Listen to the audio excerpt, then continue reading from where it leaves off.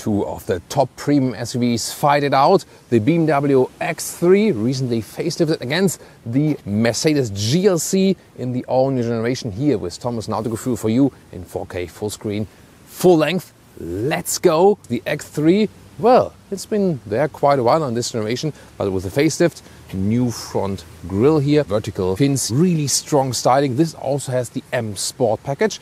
So we have the black accentuation in the low part and a stronger intake right here. Both have LED specs. You can get different LED specs, and interesting how they have totally different signatures here for the LED. The GLC also in the comparable AMG line today. That means also sporty air intakes right here, and it now also comes with this micro star pattern, a really beautiful feature. So to me, from the front, they're both very beautiful. It's just different design philosophy. What's your take? Tell me in the comments with 4 meters 72 or 186 inches, the new GLC has grown a little bit if you compare it to the predecessor, and now it's basically at the same length like the BMW X3, just a centimeter difference. And the design language is completely different here, especially the GLC, more this this round shape here overall. Interesting sidestep. They not only look cool, but also serve aerodynamics, but you might get you, you know, you know, trousers dirty or something when they are dirty as well. 19 inch wheels, winter tires, comparable also to 19 inch wheels, winter tires for the BMW. We also have painted wheel arches in the vehicle color, both white here today. A great comparison for sure. M Sport Pack means M badge here, and here also this, um, you know, this breather element because in this case it's not a real air breather, just a design element. And then we have here also black around the windows. And you can see the difference in design language once again, where you have more curved in, more angular features with the X3. The question is, which one do you prefer? I think both are beauty in themselves, I have to say. Front was both, you know, very appealing. Side, I think, yeah, that's a little bit more, you know, angular, sporty siding. I would prefer the X3. What about the rear? In the rear, we can see big design differences here with the GLC, more this round shape raindrop design, I would call it. New style for tail lamps and in lower part, out of crew fake exhaust police alert because these are clearly just visual tips. With the X3, a more rectangular design, a sportier approach with the recent facelift, also new tail lamp design here. This is a very cool thing and really always tells you, hey, this is an X3 that you can also distinguish it against the smaller brother, the X1 or something. With the M Sport Pack, you also get the black accentuation in the lower part, a diffuser style, and these are real exhaust and in this case. Which one is the favorite for you in the rear? Tell me. Acceleration figure, by the way, just a little bit over six seconds for both, but difference in, on, on the US market won't be that much because of the emission rules in the European Union. This is a little bit detuned, so there is then a bigger difference in acceleration. So the GLC, a little bit quicker, a little bit more horsepower here with the spec GLC 300 against the xDrive 30i. And the very interesting technology detail is the rear axle steering up to 4.5 degrees in the opposite direction than the front wheels. This comes together in the package with air suspension and the air suspension and the rear axle steering this is actually special to the GLC. The X3 does not have it, just a normal adaptive suspension. And the cool thing is here with the rear axle steering, it reduces the turning circle by about a meter because this here goes 4.5 degrees in the opposite direction.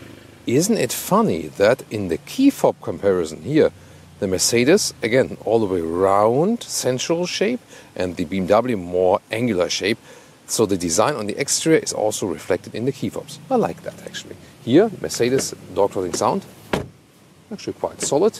And then inside of the doors in the new generation, it's all about the looks definitely. Therefore, very sleek and also clean.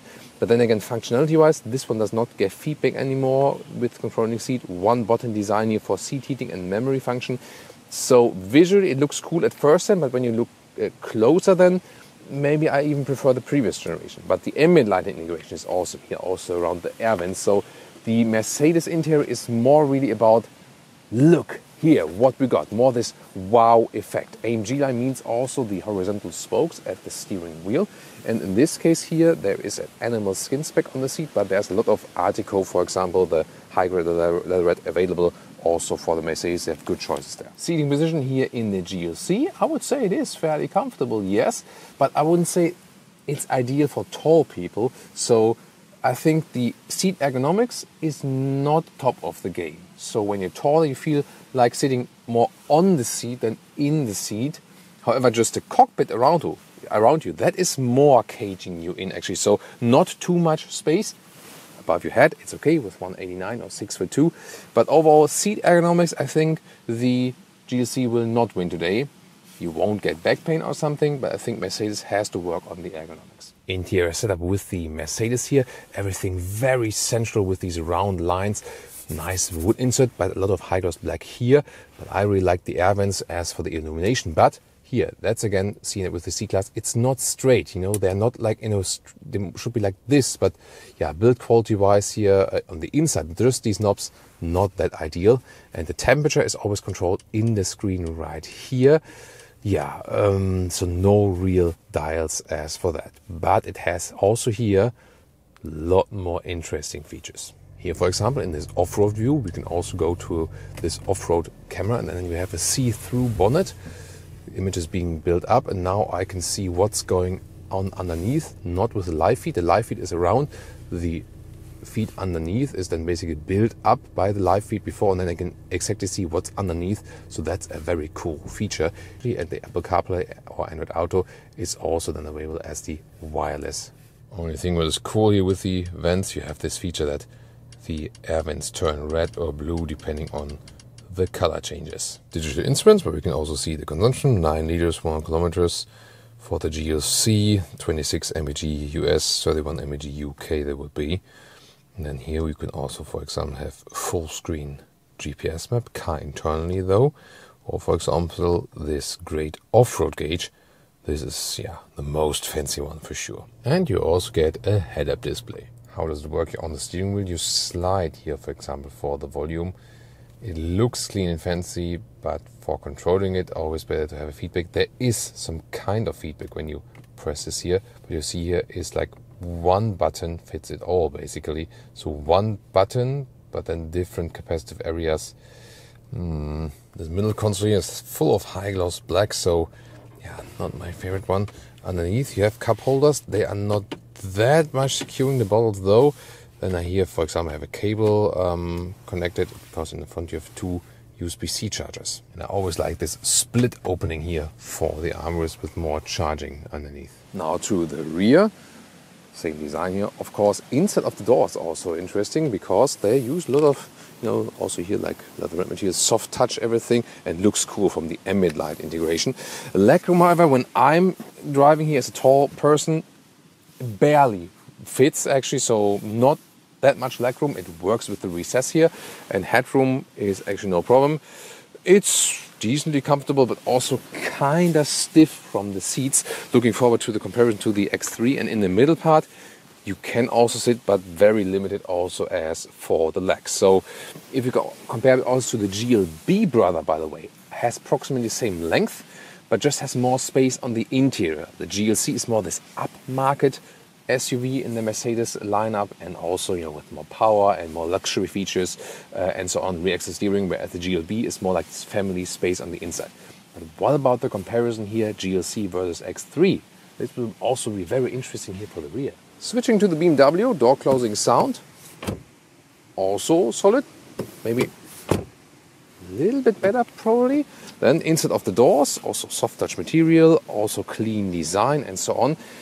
Here with real haptic feedback for the seat control directly at the seat actually. And the seat itself also available now here, or it's a standard thing, perforated Sensatec. And this is, you know, also with breathability, great quality and also animal free. This one also the M Sport steering wheel here. Steering heating control is right here. With the GLC you have to use the voice command or it's just combined with the seat heating actually. Seating position, somewhat comparable. I feel that the BMW X3 gives you a little bit more SUV driving position, and the GLC that's more or less more crossover-ish. Here you also have a little bit more space with the middle console, and the seat itself you sit a little bit more in the seat actually, so maybe a little bit better. But I think for BMW seats, the X3 doesn't have like the best ergonomics, but it's still good. We are really comparing good and good, definitely. In this segment here, I think ergonomics-wise, the Volvo XC60 would be the best one, and the Lexus NX is also very good as for the seat comfort. But overall, I think maybe like a slight, but just maybe a tiny advantage here for the BMW X3 from the position. And well, headroom hardly comparable here because this one is not equipped with panoramic roof, and then we have a lot more space. But you can also get one for that. Interior overview here with the X3. Well, you feel it's not as sensual, not that modern, not like oh, screaming out, wow, look at that, like in the Mercedes GLC. This one more drawn back, more conservative, nice brushed aluminum. Since the facelift, you also have a bigger screen here in 12.3 inch, but here the difference is with the GLC, we had this huge vertical one, here the more horizontal approach, so really large difference indeed. The question is what is better? what I do prefer in a way is to have a manual climate knob still with you know some haptic feedback and some interaction with the vehicle. As for the infotainment system here, the map is also somewhat responsive and this is the CarPlay integration also once again via touch or also control it from below. Car internal map then on the middle part in this OS 7 generation not yet possible with, with CarPlay and Android Auto Maps. So you see here it is more simple and you don't have so many possibilities like with the Mercedes. Steering wheel buttons, to me, cooler here with the BMW because you can really press them They're individual single buttons. And sound systems, here the Harman Kardon in the BMW versus the GLC sound from Burmester. The thing is, here the Harman Kardon to me little bit more low frequency bass intensive, also good in the surround sound, and the Burmester maybe has a little bit more clearness. So hard to say which one is better. The thing is really more what you prefer. Lower part right here. Ah, this you know this can get stuck here at the beginning a little bit, so don't like it that much.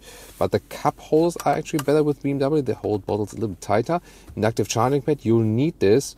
Um, you can also connect via cable, but here. But the thing is that the CarPlay or Android Auto connection is always wireless. And with the BMW, you still get a real shifting lever in the lower area. Some do definitely prefer that. And here, this is then this control knob there. Another possibility for the infotainment system. I think it's good to have it, especially while driving. And then we have this armrest here, also very well built, with more space underneath. Also nice build quality here in the rear with soft touch materials, this leatherette covering, Sensatec covering for the rear, rear seat doors, and here with this brushed aluminum look. Wow, pretty cool actually. And then also the seat bench with the perforated Sensatec. So yeah, looks like a build, good build quality, a little bit more conservative in the styling. It's also the comparable older vehicle. As for the legroom, when I'm driving, you see also not too much space. The recess also works. So yeah, both don't have too much legroom here, I have to say. Um, here it would also be, I compared the GLC with the internal brother GLB, which had more space on the interior, although it's same size. The X1 is smaller than this one here, but has basically the same or maybe even a little bit more legroom. It always has to do with the packaging and these bigger vehicles, they usually have longer hood and so on. Headroom, no problem at all, but this one again also without the panoramic roof. I can't say that any of these here has a big advantage in the rear. Middle seating, um, yeah, it's also a little bit cramped as for the legs, but then it's a little bit softer here. So both work for four tall adults, five just on short tracks, but no clear winner as for the rear. Now the trunk comparison, both used to be at 550 liters in capacity. The GLC now topped up 50 liters. It's now a little bit larger, so 600 liters. And what about the concise thing? So here we have the slider rails on the side. The width here is actually a little bit more than a meter or 40 inches. That's well done. And the length is yeah, also approximately a meter or 40 inches, maybe a little bit shorter. And the height is also very interesting. This is the highest point here at 73 centimeters or 29 inches. The folding mechanism here, at least when you have this one, this possibility, this is awesome. The most awesome. Look at that. I mean, wow. Immediate folding and super clean and flat. And the total length is about, yeah, what, 180 or 71 inches. Below here, by the way, a lot of space still Look at that. Then when we switch it over to the X3, you maybe remember the height with the GLC. Let's compare it here. What do we score? This is higher at like 78 centimeters or 30 inches. So the GLC was ending here. So you have, you know, like more height here. That's very usable. Then below also some more space. Then about the total length, because we can also fold the seats um, here in that X3, of course, but we have to reach over. But then it's actually also fairly easy to do that. A little bit less comfortable total length. Here yeah, I mean here it's like also 180 or 71 inches. It depends also where it's closing. Usually it's more like here. So yeah, more or less the same. And then here the normal length of the trunk is yeah a little bit shorter here as well, a little bit less than a meter 40 inches. The width here is comparable indeed, a little bit more than a meter or 40 inches. So a um, little bit more height for the X3, but a little bit more length for the GLC. Overall, both are very, well usable. This seems to be here more, you know, a little bit more square, especially the opening. As for the engines, main difference is that for the X3 you can get six-cylinder petrol and diesel engines. However, this is the four-cylinder engine, also a very big bestseller here, the 30i as rear drive or as X-Drive here with the all-wheel drive, rear wheel bias. 245 horsepower, at least in the EU spec. 258 horsepower for the 2 liter 4 cylinder in the GLC. GLC 300 also available as rear drive or all wheel drive. And with the new generation of the GLC, they set everything on 4 cylinders, expecting a 6 cylinder diesel on the later stage. So these are the main differences. And the thing is that the acceleration figure, the GLC is a little bit quicker than the X3 in this comparable engine spec. And also the plug-in hybrids, they have a lot more range here with this C-Class or GLC platform.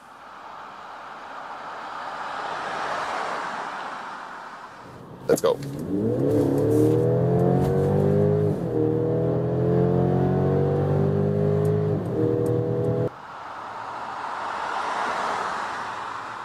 let's go.